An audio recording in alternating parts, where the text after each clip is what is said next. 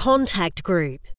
Contact Group spent two years developing their innovative WHS dashboard before going live in 2022.